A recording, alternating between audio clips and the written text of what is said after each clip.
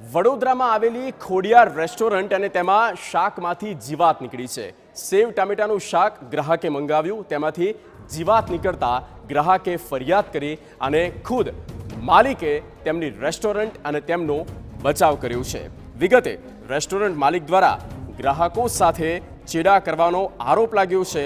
સમગ્ર ઘટના મુદ્દે ગ્રાહકે રેસ્ટોરન્ટ માલિકને ફરિયાદ પણ કરી, જોકે રેસ્ટોરન્ટ માલિકે પોતાનો અને રેસ્ટોરન્ટનો બચાવ કર્યો છે. ગ્રાહકે હાલ તો આ વીડિયો સોશિયલ મીડિયા પર વાયરલ કર્યો છે.